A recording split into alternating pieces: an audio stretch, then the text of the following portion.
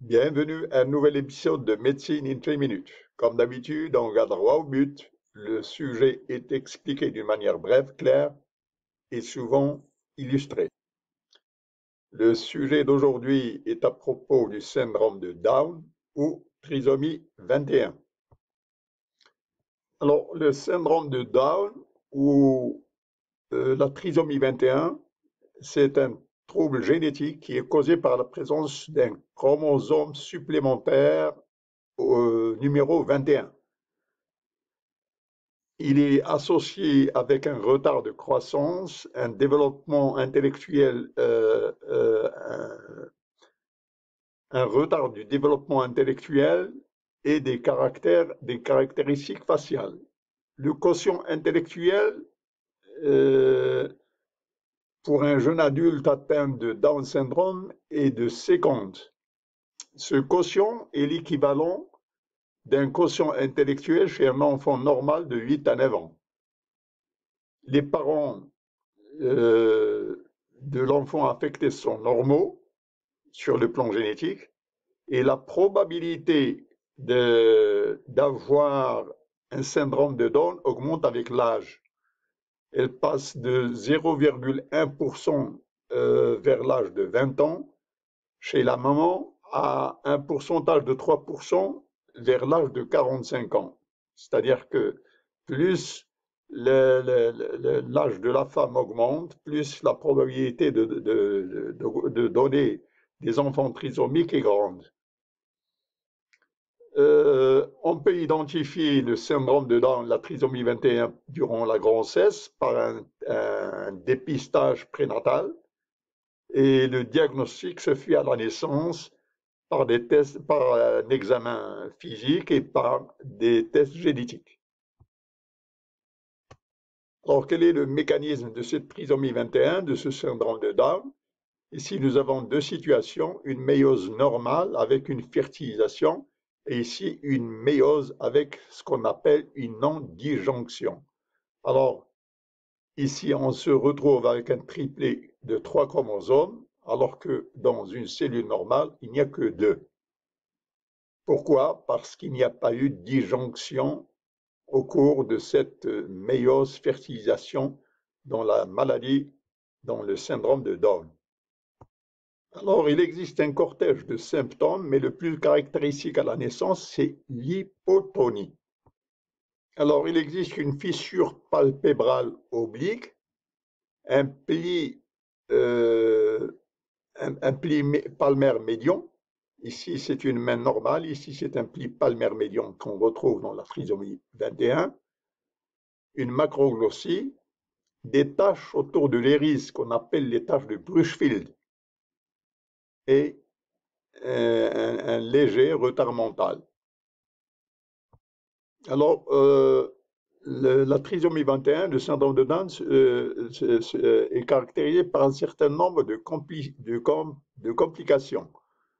Elles sont multiples, elles sont viscérales, cardiaques, gastro-intestinales, endocrines,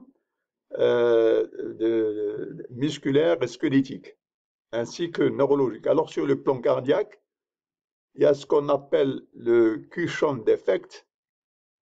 Euh, sur le plan gastro-intestinal, il y a euh, le, le,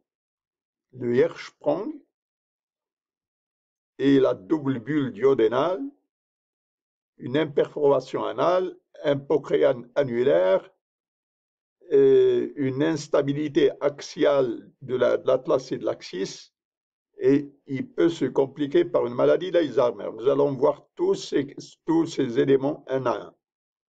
Alors, la malformation, la malformation cardiaque, c'est quoi? Eh bien, ce septum interventriculaire, il va manquer pour constituer une seule cavité ventriculaire ici. Cette communication interventriculaire, c'est le cushion defect. Alors, sur le plan gastro-intestinal, il y a une imperforation anale. Vous avez ce schéma ici, l'anus, il communique avec l'extérieur. Ici, l'anus est, obturé, il ne communique pas avec l'extérieur. Une autre complication, c'est le, pancréas annulaire euh, il forme une sorte d'anneau autour du type du, duodénum. Une autre complication est le mégacolon de Hirschsprung. Vous voyez cette dilatation sur le, colon descendant. Et une autre caractéristique, surtout elle est radiologique, c'est les doubles bulles euh, que, forme le duodénum dans la radio et aux ultrasons. Une autre illustration de Hirschsprung, alors, les taches blanches de Bruchfield autour de l'iris, alors ce sont ces petites taches, elles sont toutes microscopiques, elles sont blanches tout autour de l'iris et sur les deux yeux. Parmi les complications de la trisomie 21, de la maladie du Down, du syndrome de Down, c'est l'hypothyroïdie, une atteinte endocrinienne au niveau de la glande thyroïde, et puis une malformation squelettique au niveau de l'atlas et de l'axis, et euh, la, personne qui est atteinte de trisomie 21 a beaucoup plus de risque d'être atteinte de la maladie d'Alzheimer. Alors je vous rappelle, Alzheimer, l'acétylcholine et la norépinéphrine sont abaissées et il y a une perte de mémoire. Alors, un autre marqueur est la double bulle qu'on voit ici, elle est bien illustrée, avec un, un, proximal qui est, la, partie haute de l'estomac qui entraîne ces doubles bulles. Alors, remarquez cette hydramnios et polyhydramnios autour de, la double bulle euh, ce, polyhydramnios s'observe dans les obstructions gastro-intestinales, quelles qu'ils soient.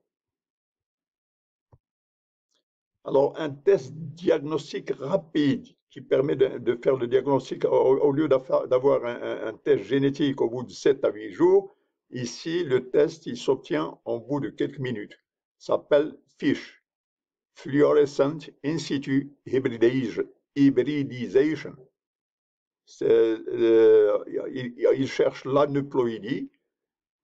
Et comme, j'ai dit, c'est un test qui est rapide, euh, alors que le cariotype normal s'obtient au bout de 7 à 10 jours. Alors, ce, fiche, ce test-là, il permet d'identifier et la trisomie 21, et la trisomie 18, la trisomie 13, et même les, anomalies euh, des chromosomes sexuels, le tourné de Klinefelter. Une autre complication de la trisomie 21, du syndrome de Down, c'est la leucémie lymphoïde aiguë. La leucémie lymphoïde aiguë elle se présente, on, a dix fois plus de chances d'avoir une leucémie lymphoïde aiguë quand il y a une trisomie 21 que chez une population normale. Alors ici, c'est HOPE, All HOPE, c'est l'espoir pour tous. AL, c'est pour euh, Acute Lymphoblastic Leukemia. Alors voici un diagnostic différentiel des différents syndromes génétiques. Aujourd'hui, nous avons étudié le syndrome, dans cette présentation, le syndrome de Down, la trisomie 21. Mais il faut savoir qu'il y a aussi la trisomie 18, le syndrome d'Edouard, qu'il y a aussi la, trisomie 13, le syndrome de Patou, et qu'il existe des syndromes de Turner 45X et de Klinefelter 47XXY. Alors, toutes ces maladies ont une euh, taille euh, limitée, réduite, une taille courte, sauf la maladie du sur le Klinefelter, le syndrome de Klinefelter, lui, il a une grande taille.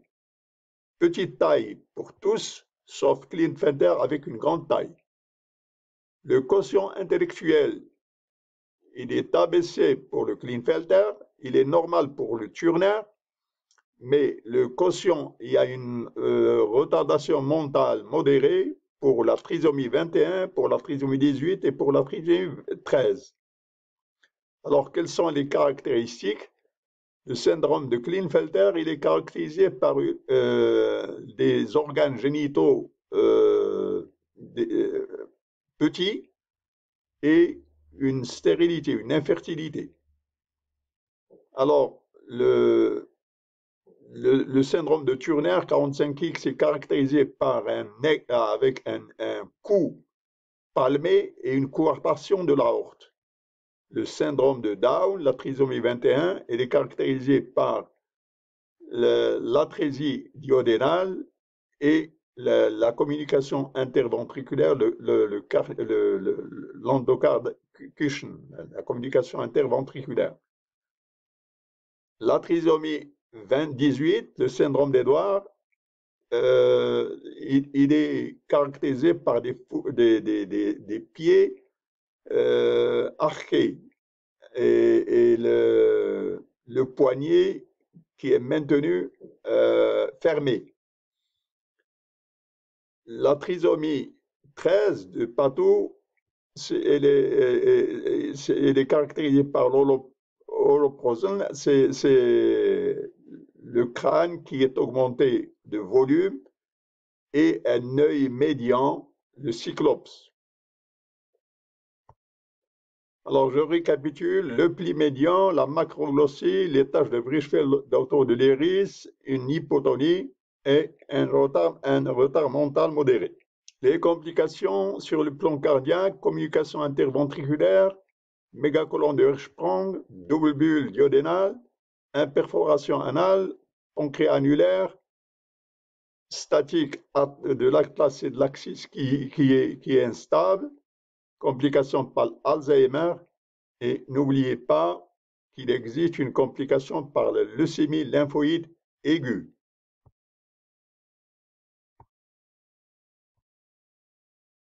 Merci d'avoir assisté à cet épisode de Médecine in 10 minutes. Voulez-vous euh, appliquer le, vous voulez cliquer le bouton like. Si vous n'avez pas encore adhéré à la chaîne, je vous invite à y adhérer. Et vos suggestions sont toujours bienvenues. Merci.